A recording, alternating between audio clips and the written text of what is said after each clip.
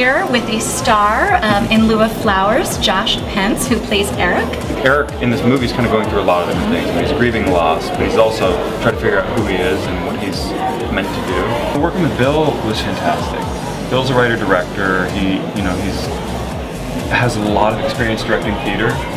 Um, so, you know, it was really fun because we got to rehearse quite a bit and, and, work some things out in advance. And it's hard when you're shooting a movie on, I mean, this is a 21 day schedule, 18 days on, three off, six day weeks. So you're kind of just going all the time. We have Bill Savage here, we have Spencer Grammer, and the amazing Josh Pence. And we really wanted to talk about your film because this is a very special night for you guys. You are opening up the festival with this film. Yeah. So are you guys super excited? Yeah. yeah. Very excited. I just kind of gone through a loss and got me thinking about just kind of how we experience loss in, in all capacities. I really related to my character Rachel who had suffered this great loss in her life and, and it's not necessarily how you've had to cope with it but how the people around you change how they treat you.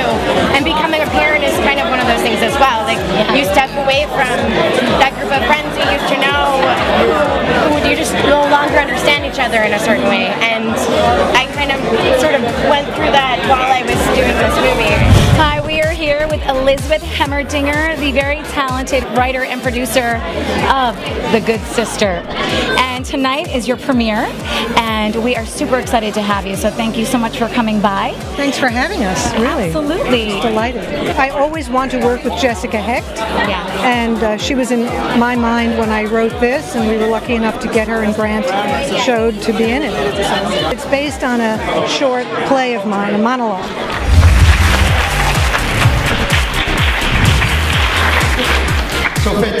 Fun. No, uh, you're the writer.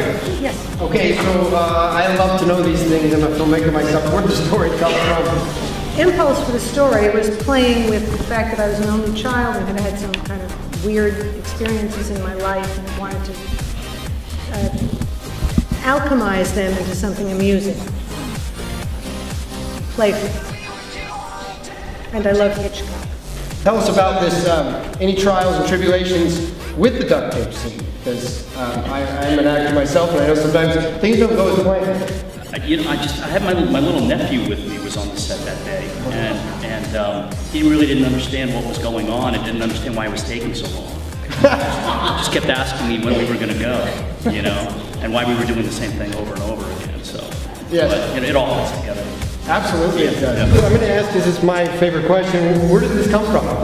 I just was thinking often um, about uh, kind of the different types of loss, different types of losses we go through, and um, how they're similar and how they're different. And that sounds very, uh, you know, lofty and ethereal. That's sort of, that was sort of the, the genesis of this, um, which is from a particularly difficult time uh, for me, which is now long past. But um, and just this idea of these two people kind of connecting uh, over this, um, coming in two different ways, and kind of how they experience it in the same way and experience it in different ways, and that was sort of the beginning of it.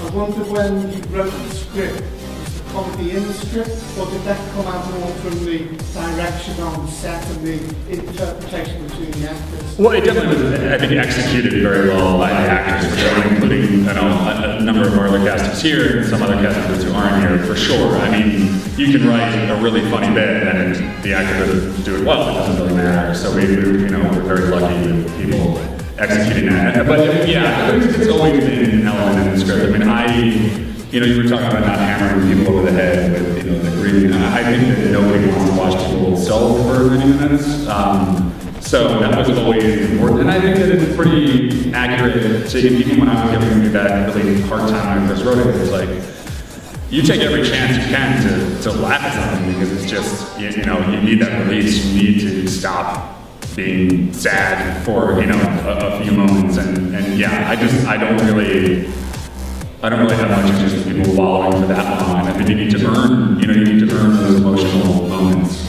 Um, and the best way to do that is to not take yourself so seriously the entire time. Let's give him one last round of applause.